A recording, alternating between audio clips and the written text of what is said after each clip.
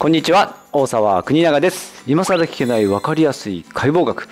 体の仕組みを理解することで生存力はぐんぐんアップしますということで、えー、と今日は、えー、と僧帽筋についてまた改めてやってみたいと思います。えー、とハワイ大学の医学部の解剖実習ですね人体解剖実習で、えー、とまたね見て感じてきたことをシェアしていきたいかなと思います。はい、えー、と僧帽筋ですけれども、まあ、僧帽筋は、えー、と実際にねこうご検体を、えー、背中の方からねこう最初に、えー、行って皮を、えー、取っていくとですね一番最初に出てくる一番表層の、えー、このね背中の筋肉になりますけれども、えーとまあ、形はこういうね四角い、えー、こういう、まあ、ダイヤモンドとかひし形というかなこういう形をしている、えー、筋肉で、えーとまあ、毎回毎回見て、えー、まあ較的やっぱり薄いなというような思ったより感じてるよりはすごい薄い筋肉だなとでこんな薄いの筋肉で、えー、としっかりと働くっていうのは筋繊維筋肉の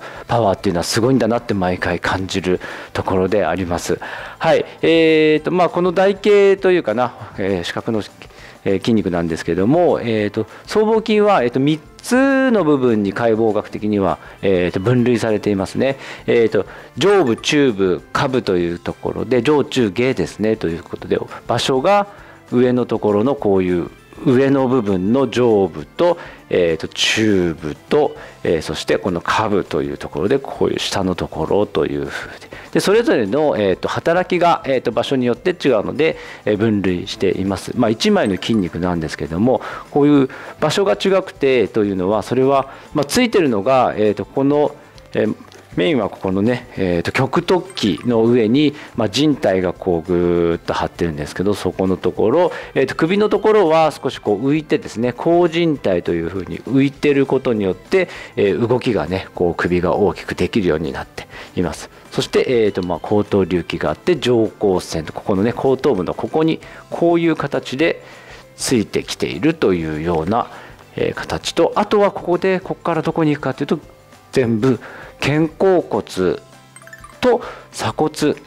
にもついてるんですね。はい、ということで腕の付け根のま上肢体ですけどもこちらについているこう体からついている筋肉になります。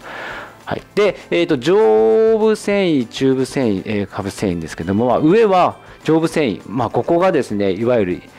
一番の肩こりと言われるところは、えっと、僧帽筋の、え上部繊維痛ですね。もう肩こりイコールというところになりますけれども、まあ、これ見ているとこう、ね、やはりここのところから腕自体は、えー、肩甲骨ぶら下がってる状態の大元重力で引っ張られるということですので、えー、まあ、上からこうね一生懸命重力に逆らってこう耐えてというかなこういう形で吊り下げて持って重さを保っているというところで常に、えー、負担がかかるところですから肩こりというにはなりやすい場所でもありますね。はい、で、えーと、そこの上部繊維なんですけれども、えーと、ポイントのところが先ほど、えーと、鎖骨についている鎖骨の大体3分の1ぐらいのところについているんですけれどもこう見てみるとですね、えーとまあ、実際に薄くてこうなっていてここでこうここでこう来ていてここが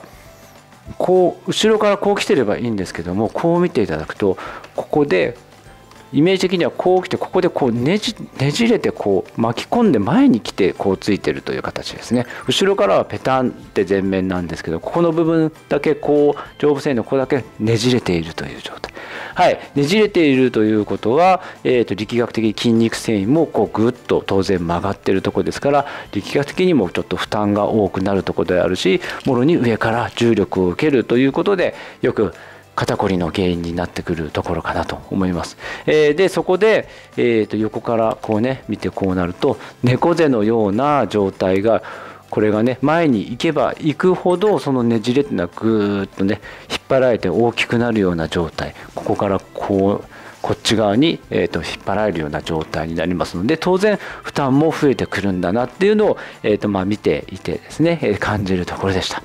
えー、実際にねここのところをこうご自分でも今でもねこうつまんでみてくださいぐーっとねそうすると少しこう丸くなってこうなって肩こりいわゆる肩こりのところが丸くなってなってだから今つまんでみたところというのはこういうふうにして僧帽筋を2枚こう重ねてつまんでるということになりますよね。そしてちょっとこうパコパコってこう逃げるとそれが脂肪の厚さになりますからこれ全体をつまむこうやって脂肪っていうところが全体から脂肪を引いたらそこの厚さが2枚の僧帽筋の厚さにおおよそなってくるというので、えー、そういうところでもあ案外イメージしたより薄いんだなっていうところを感じていただけると思います。はい、えー、まあ、肩こりイコール僧帽筋の上部繊維の痛みとかこりになってきます。えー、この薄いところでこの腕の重力を上からしっかりと、えー、保ってるところだな。プラスさらに頭が前に行けばこちらも、えー、僧帽筋がぐーって引っ張られる方向腕で引っ張られる両方から引っ張る常に頑張ってくれてる僧帽筋。ですから私たちはそれを、えー、引っ張られる引っ張られるを戻すというところに意味があるのかなという仕組みを理解しながらやっていくと少しアップになってくると思います。ということで今日もよし。